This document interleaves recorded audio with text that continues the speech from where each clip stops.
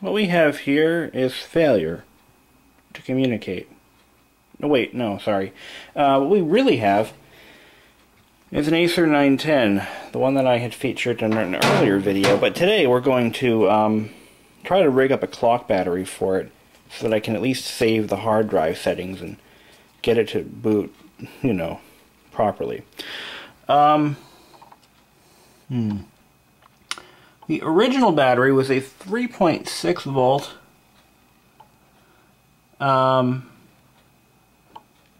Tadiran but I'm going to substitute a 3 volt lithium coin cell battery. I'm going to do two very dangerous things that I don't suggest any of you do. Um, number one, I'm going to use a lower rated battery than the original. Number two, I'm going to solder wires directly to this battery. This is dangerous. don't do this. Do as I say, not as I do, as my father used to say. But in a pinch, you just have to do what you gotta do, I guess. But you should never do that. Ever. For any reason. Um, and I'll tell you why. Because the risks are great. The battery could explode. That's pretty much the worst case scenario. Best case scenario, it works. Second to worst case scenario, battery doesn't function after we solder to it. Um, this is something that uh, is taught in the classrooms as something you just don't do. When they actually solder leads to these batteries or attach um, connection points to them, it's actually done with a small tack welder. The, uh, the battery is literally welded, or the, the contacts are welded to the battery using a jeweler's type tack welder.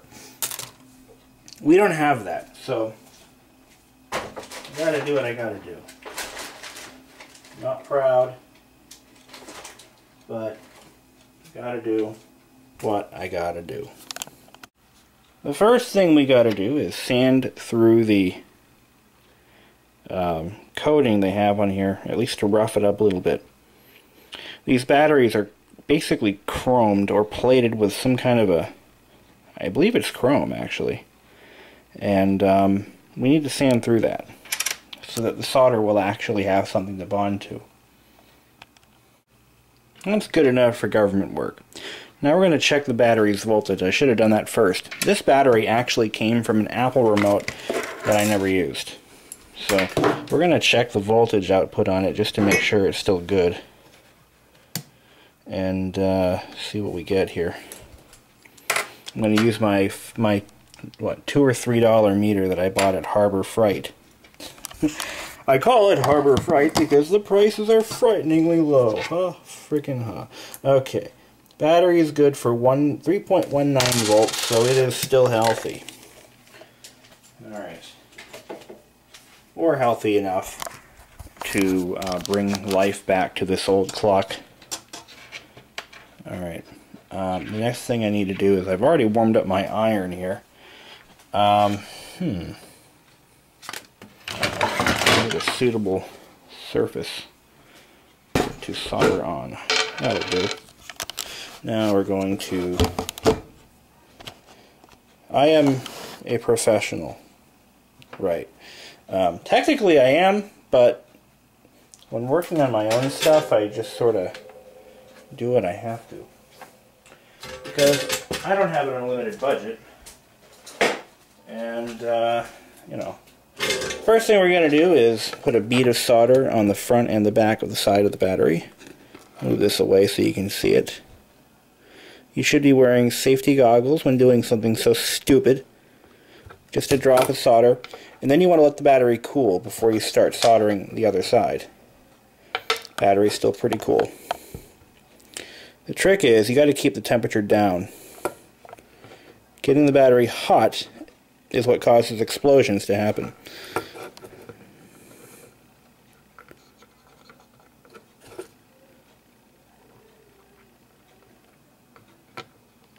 Now I gotta let the battery cool.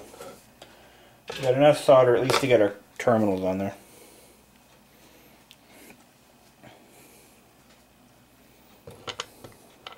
The battery should be cool enough to hold. Right now it is not. It is now overheated. So we gotta wait for that thing to cool off. Battery is cooled down quite a bit. Now it's ice cold.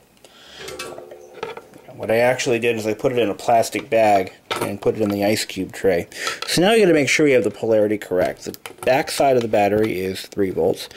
I mean, um, positive, so we're gonna fix our positive lead to the back side and our negative lead to the front side.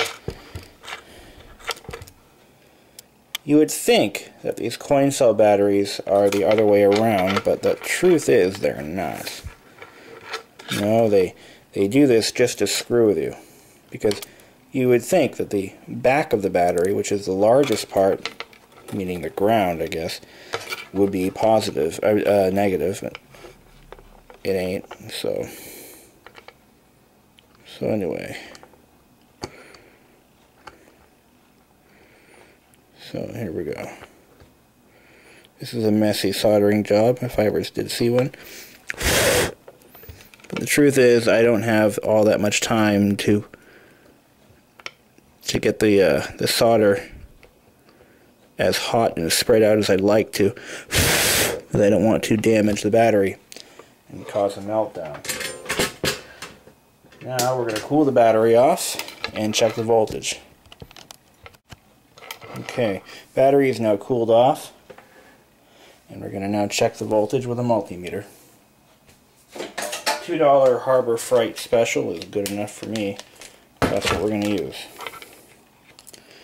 And we do this because we want to make sure that the battery isn't damaged from the heat. 3.19 volts, so there was no damage that I can tell to the battery. So now the next thing we're going to do is we're going to actually cover the battery in heat shrink tubing. So it actually looks like something we bought at Radio Shack. Pretty cool, huh? Once again, Harbor Freight saves the day. I bought this heat shrink tubing for like a dollar. and uh, yeah, that was incredibly cheap. So what we're going to do is cut a section off that's uh, sized right for the battery. And we're going to apply some heat to the tubing. And um, if we need to trim it down later, we can. So there we go. We're going to open up the heat shrink tubing as best we can with our fingers to make a tube. And slip the battery right in there. This might be too small, but it might be just right. I think it's a little on the small side. Might have to go one size bigger. So we've got our heat shrink tubing all set up. I cut a one one uh, three quarter inch by three quarter inch square, and we're going to center the battery in that square like so, and apply the heat. For those of you familiar with cocaine use or uh, crack use, um, you might actually have one of these lighters around. Um, just kidding. Uh, basically what we're going to be using is a little mini torch type lighter. And I'm going to try to get the shrinking action on the film here. So I'm going to put the camera right there. Okay, this is pretty cool how the stuff shrinks down like that. Just apply the heat. Um, it's really designed to be used with a uh, with a small heat gun. It works better that way, actually. Uh, this stuff isn't shrinking correctly.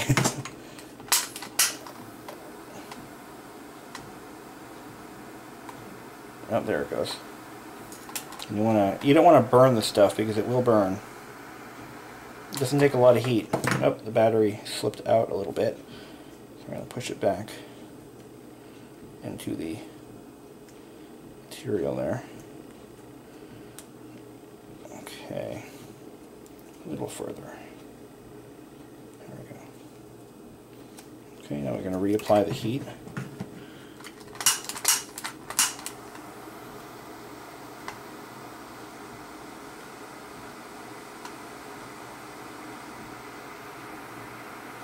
This is essentially how they make these batteries in this in the uh, in the plants in China. Roughly. They're using a different kind of shrink tubing. The stuff that they use in the plants is like a film that um, is designed specifically for this purpose. But we're not fancy like that here on B Bishop PCM World. Um,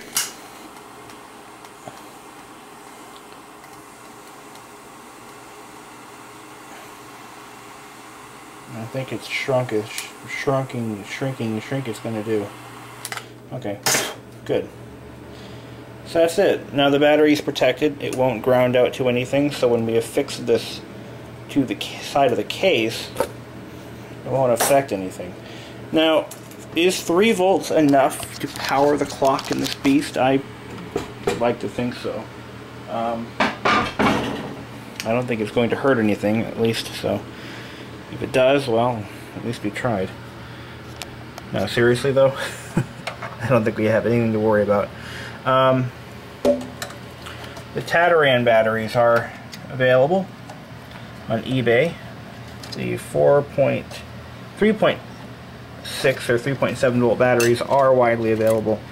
Um, so this isn't really necessary.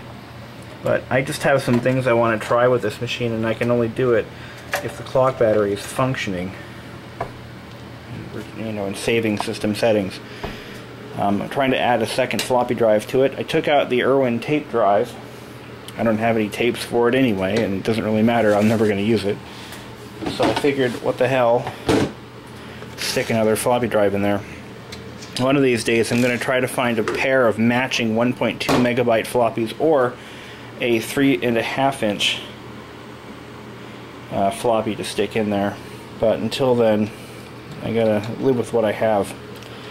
So, the original owner, by the way, of this machine is the guy I bought the claw machine from. He actually ran his vending business on, on this machine for about 10 years and is still using the same software that he ported over to a Windows XP laptop to this very day. Um, the vending software I don't think I showed you guys but it was featured in the video that I made when I first got this thing running so take a look in the archives it's there somewhere. Um, just to recap this is a looks like a um, I thought it was a 386 but it's actually a 286 um, yeah 8286 there's the Intel 286 processor right there try to get some here we go now you can read it. But that is what a 286 processor looks like. Um, and these were used well into the late 1980s when this thing was actually built so. I gotta get this thing back together though. Just to give you guys an idea as to the dire condition this machine was in when I got it this keyboard is what the entire system looked like Yuck. And then I cleaned it. Now, this has the original, this is unique because it still has the original keyboard and monitor. And I got it from the original owner. He says he has the manuals somewhere, and he's actually going to look for them uh, for me, so I'm hoping that someday I'll get them. But, um, here goes nothing.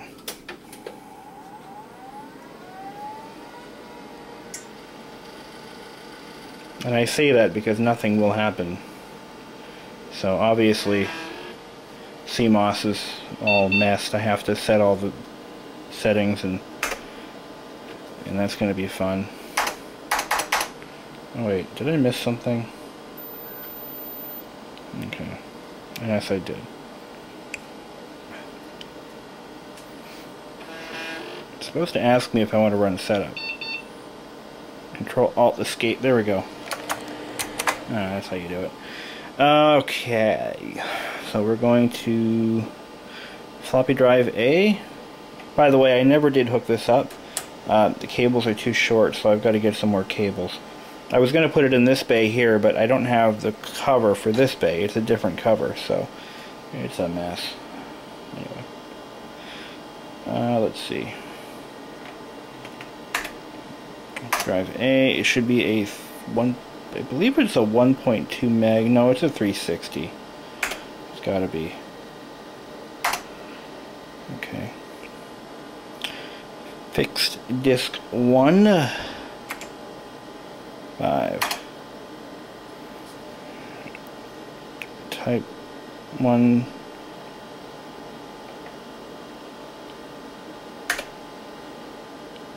I'm going to have to keep trying. Uh, how did I do that?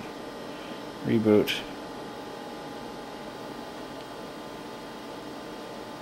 Let's try that.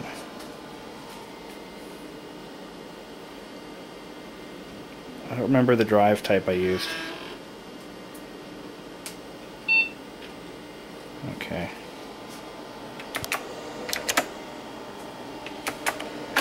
Put the cam put the key uh, camera down. You see the problem here is these older machines did not have um, automatically detected by um, hard disk settings you had to put the information in manually. And um, this thing must have more memory than 512k, I'd like to think. I don't remember the drive type. So you had to, each drive type um, referred to a specific drive um, geometry. Landing zone, sectors per track, capacity, uh, number of heads and without knowing what the original drive type is, and I don't really know that answer, I don't know what the setting should be. So I'm just putting them in at random until I pick one up that works. Um, I got lucky when I first ran this thing, and I I should refer back to that video I recorded, and uh, it'll tell me what I used. I had printed off a chart that listed every type by drive size. And uh, what we have here, I could never find the parameters for this drive. But what we have here is a rather rare um, Micropolis. Is that what it is? Yeah, MiniScribe. And we don't know what the drive type is. um, or what the parameters are. That's kind of unfortunate. Um, so it's a model 80, 8051A, and I don't even know what the hell it is. So um, it's kind of difficult for me to to just get it the first time. You know what I mean? Let's do another reset and try a couple of different drive parameters. While we're here, let's see if it accepts today's date. Hey, no way. That's incredible. And time, we're going to set that. This is obviously in military time, so uh, let's see. Hour. Uh, let's see. It's 9 o'clock, so 13, 14, 15, 16, 17, 18, 19, 20, 21. 21.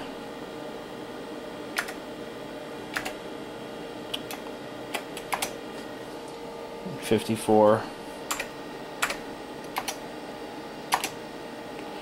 Okay. Now, what we're going to do next, obviously, we still haven't gotten the hard drive picked up yet. Um,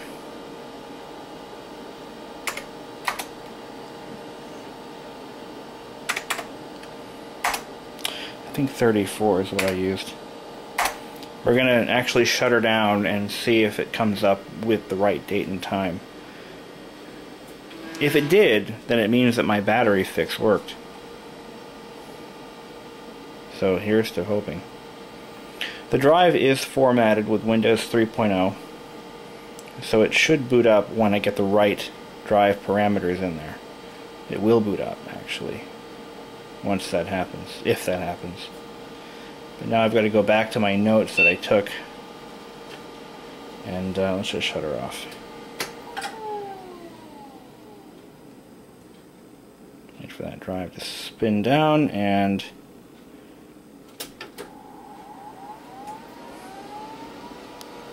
I'm gonna go right into BIOS with it.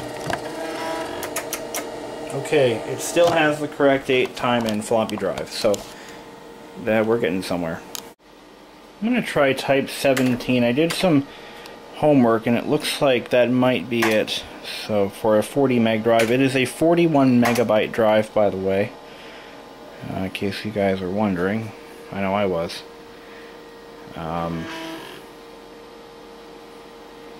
what's the correct... Up oh, there it goes. Got it.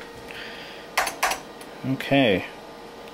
Now the problem I had was one of my floppies was defective. So I couldn't copy everything over to the drive. But anyway, we should restart this thing and uh, make sure it boots up under its own steam with my jury-rigged battery carefully tucked in the back of the machine.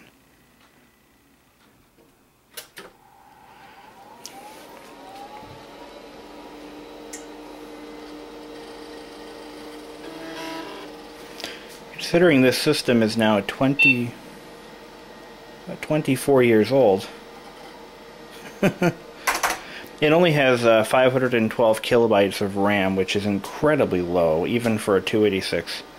Most 286s had at least 1 megabyte of RAM. There isn't a whole hell of a lot this thing will run outside of original IBM PC software, um, which is kind of a shame. It's a really cool machine. Uh, I'm going to look at getting some other parts for it. I want to get... I'd really like to get more memory for it. Um, so I need to find a memory expansion board. Or, oh wait, I can just buy the chips. And uh, I just need to find out what memory chips I need. Um, you know, I've never in my life have I ever had to buy memory for one of these uh, socketed, chip socketed type machines. I've never had to do that before. This could be a learning experience. Um, most of the older systems I've had use memory expansion boards with sockets on them and you just I've never had to populate one before. Now I do. Oh, how do I get myself into these messes? You might ask.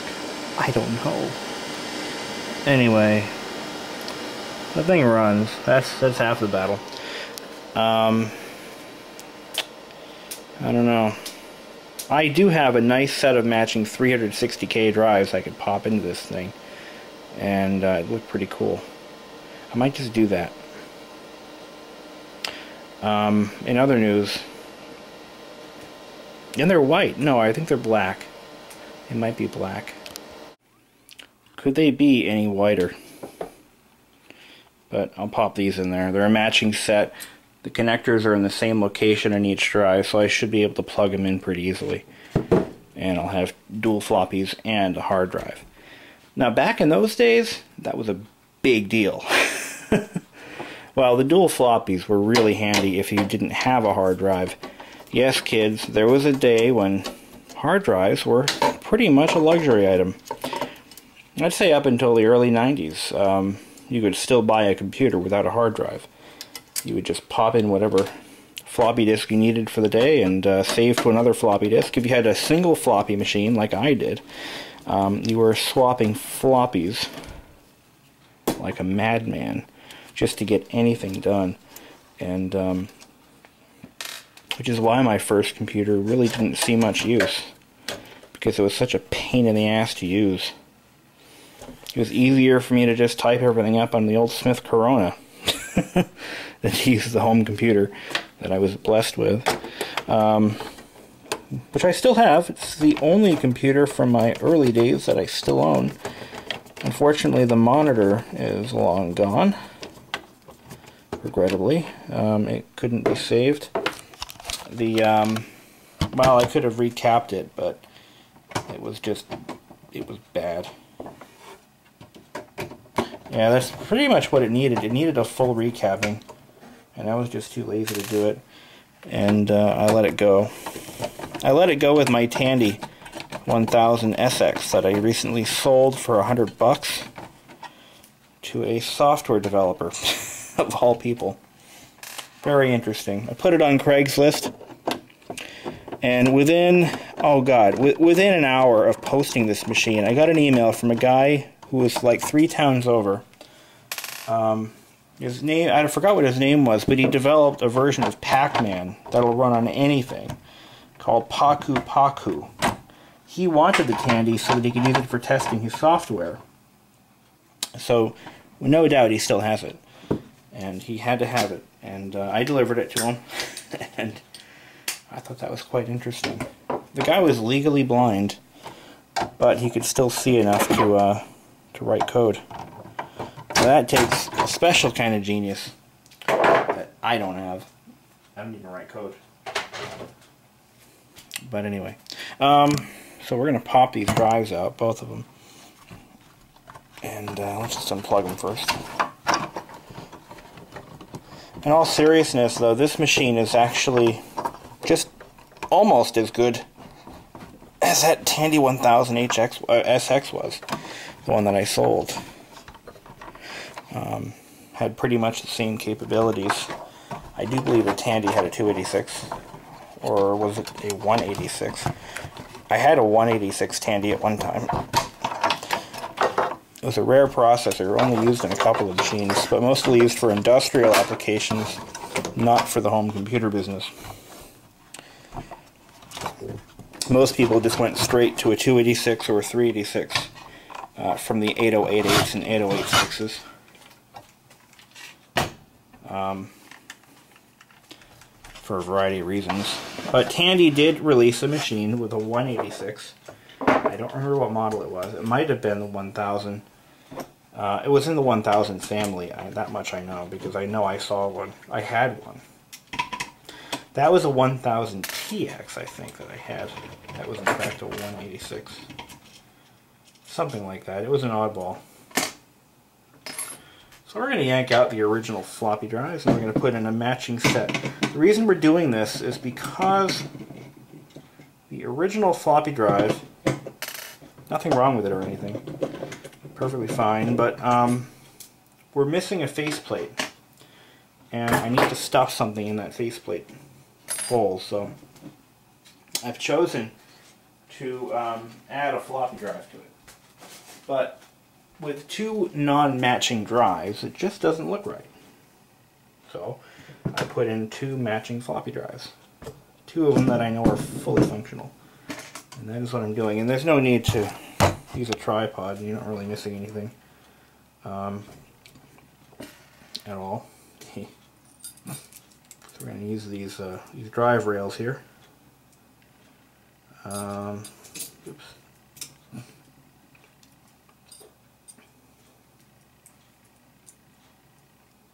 interesting. They don't really fit together. Hmm.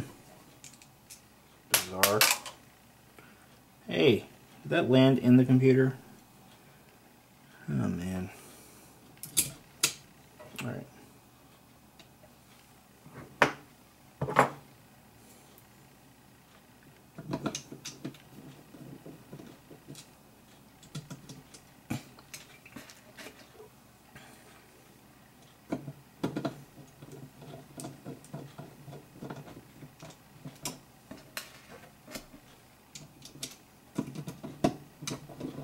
Well, we'll continue on when these are installed.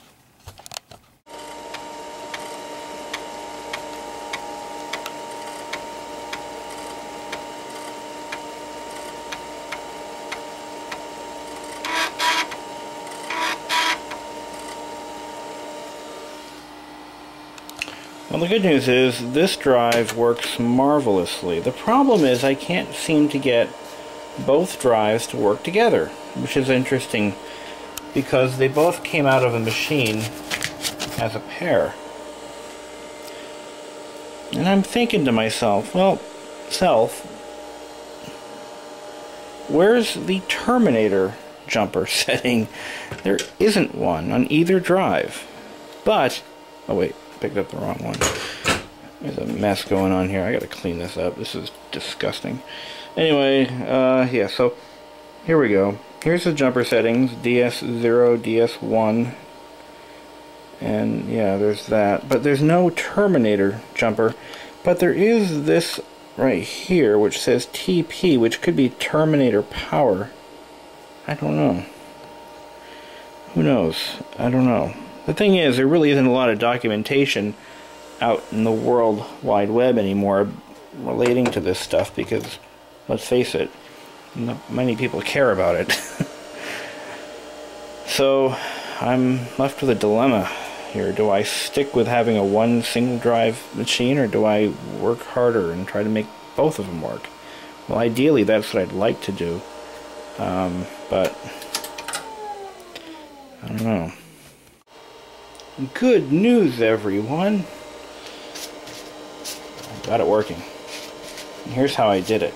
I set them both to DS1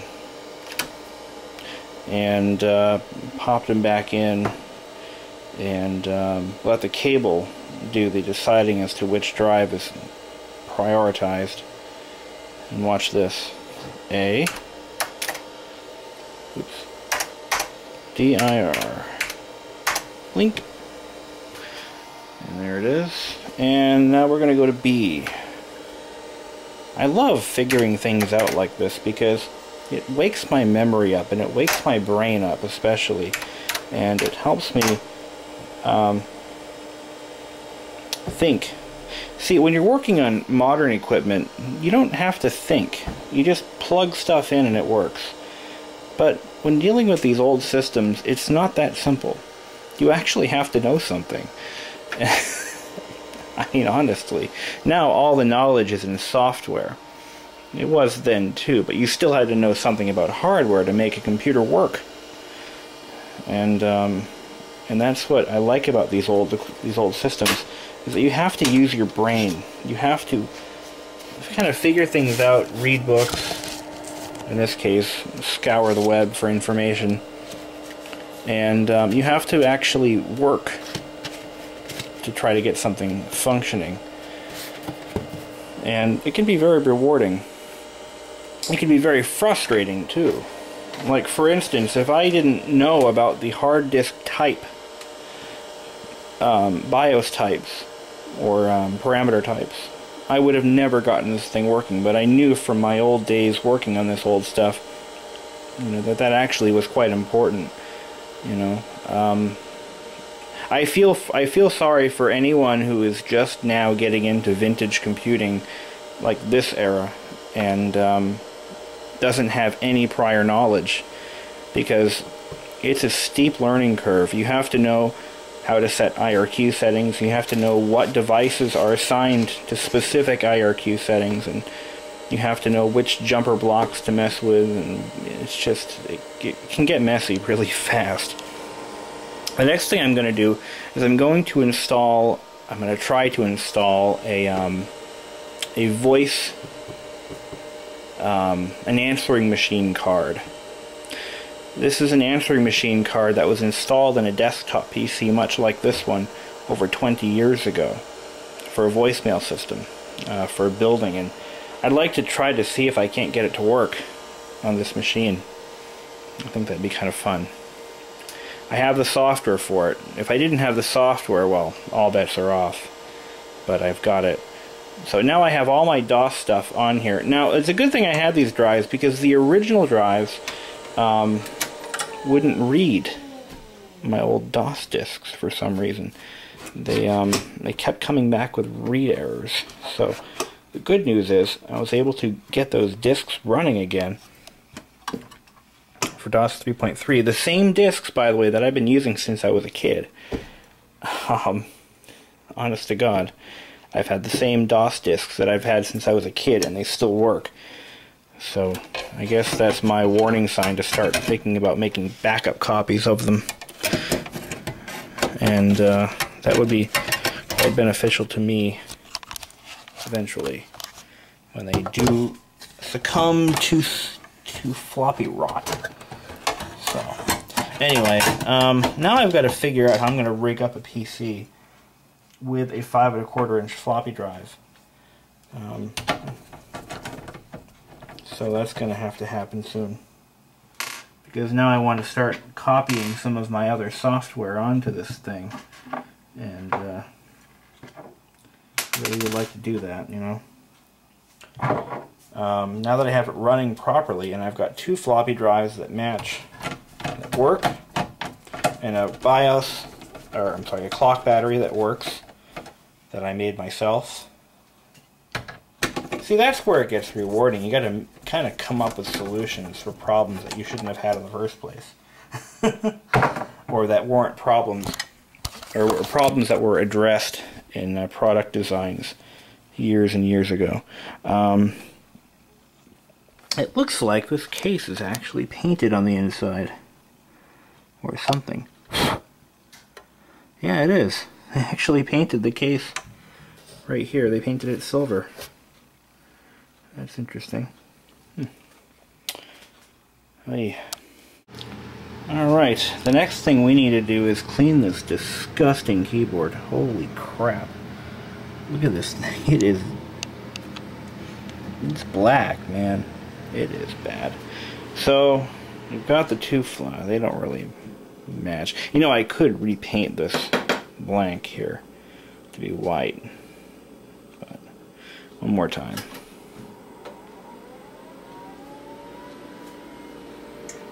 So in our next video, we're going to address cleaning that damn keyboard. I'm going to try to procure some software. Some of the stuff that I may still have um, offhand. And I'm going to start loading this thing up. I would like to put some more memory in it if I could find some of those memory chips, but first need to identify what they are. Which could be fun. Real fun.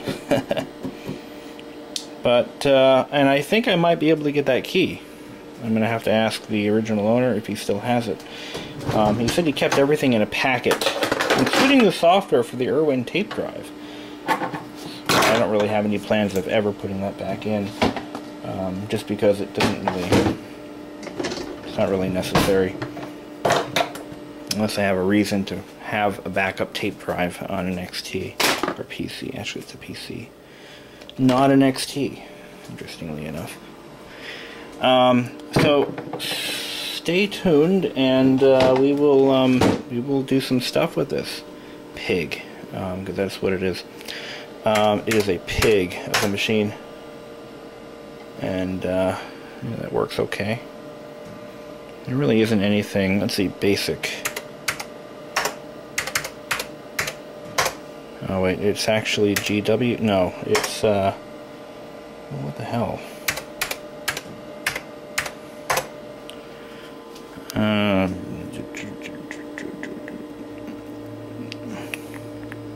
oh yeah, check disk. I forgot that was on this version. I thought basic was on here. GW basic, that's it.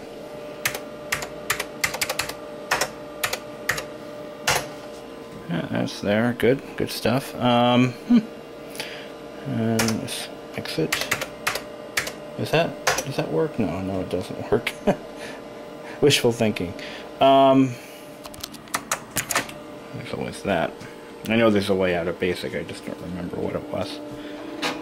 So yeah, there it is, DOS uh, 3.30. Originally shipped with a DTK desktop PC.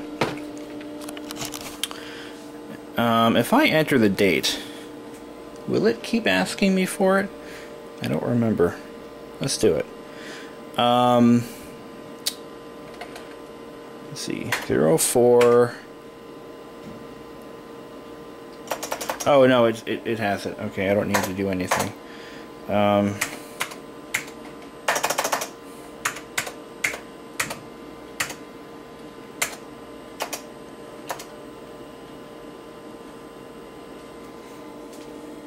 Oh, this drive does have bad sectors. I forgot about that.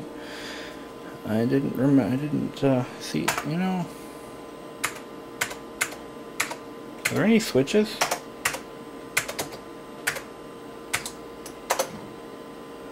No. Hmm.